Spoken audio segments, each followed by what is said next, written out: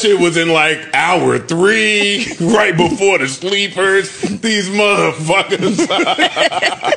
Mel shit was in the top. Strong. Hour, yeah. She Yeah, started early. with her chest. I was like, oh, finally, a co-host that can provide me some fucking cover. Man, hell no. Nope. And let me tell you, watching the playback, that shit is always a lot worse. It's always a lot worse. I owe NBA YoungBoy an apology too. Let's start with accountability. I owe him an apology. Yes. He don't even bother nobody. He don't even bother nobody. And the pod was over.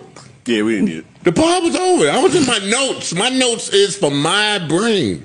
That ain't to put out there like that. And if you're gonna have the conversation, there's a much better way to articulate what you're trying to say and have the conversation.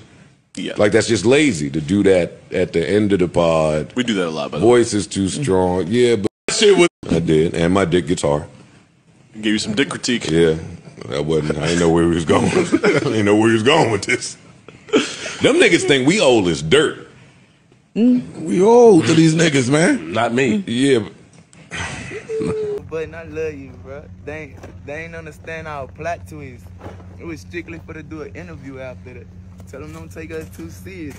Everything entertainment, man.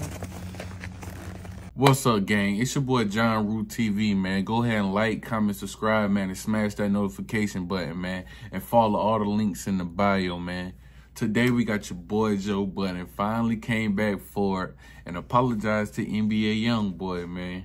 Finally, man. I don't really usually see Joe Budden apologize to people, so some people must be behind the scenes applying pressure, man. But that apology was needed because you had my boy going crazy, man. Not going crazy like in, but I'm just talking about going crazy on your top, man. Because you said some BS.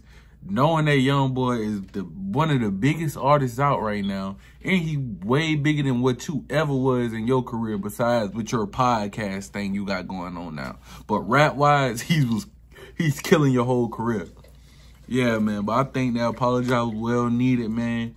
And you know, I think he trying to get get them boys, get get a couple people off his back, man. You know, a lot of people ain't gonna play with him, man, when it come down to NBA YoungBoy. And you know how young, NBA YoungBoy fans is, man. But yeah, man, like, comment, subscribe, smash that notification button, boy. It's your boy John Ru, and I'm out.